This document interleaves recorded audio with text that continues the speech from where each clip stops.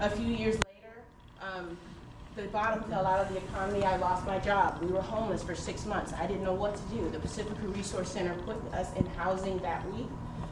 I was in temporary housing for six months. I made a point to move back here because of all the support that I receive as a single mother. It's not enough to just have great schools if kids arrive hungry. It's not enough to just have great schools kids arrive out of a stressful household because parents can't, don't know where their next meal is coming from. It's all about service, complete services.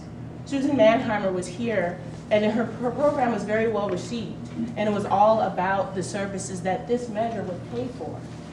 Um, I am one of those poor people that he's talking about. I have three kids, one with special needs, and my income is the only income that supports this. I am going to get taxed heavily on this. We have four cell phones in my house and one landline. You can't have teenagers with a cell phone. I need to know where they are every minute. Um, and, you know, I am willing to make the sacrifice out of my own paycheck that I live check to check, but I'm willing to pay the $12 a month. Because right now I'm paying $6 a month to watch TV. I can pay the $12 a month to make sure that my kids live in a safe city, that they have things to do after school, that there's a library, that there is a safety net for the people that come after me. It's an investment. Because you guys invested in me and the taxes that you pay, I am now here able to give back to my community. It's an investment. And I'm asking you, I know it's hard. Taxes are not an easy thing. They're difficult. They bring a lot of controversy. They bring a lot of people in the room, and Karen and I have to stand here. We're pretty nervous. but um, it's an investment into the city, into the services. And, you know, the money that he's talking about, my time, I'm running this campaign, my time is precious. I would not have worked on this campaign if the city hadn't done the pre-work with the consultants that Steckbart is very familiar with, because when I ran the parcel tax campaign, he wanted to make sure had the information before the consultants first, before he gave me the okay to move ahead.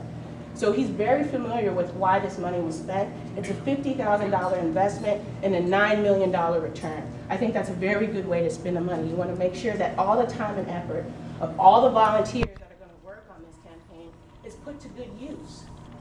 Why move forward with something if you're not confident that we have a chance on winning? And that's what that money was for. And it's been done by the Jefferson Union High School District, by the Pacifica School District, which Mike can attest to, and it was done now. We want to make sure that if we're moving forward, it's done in a way where we are guaranteed a good chance of success.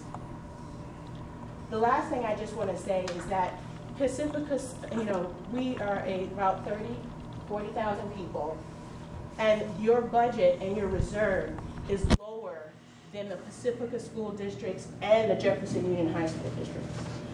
I am a board member of the Jefferson Union High School District. We have 7,000 students. We're open nine months a year, 10 hours a day, and our budget and our reserve is bigger than the city of Pacifica. That is a fiscal emergency to me. That's insane. So, I mean, we're, I'm very happy that you're here. We're open to asking and answering any questions, and thank you so much.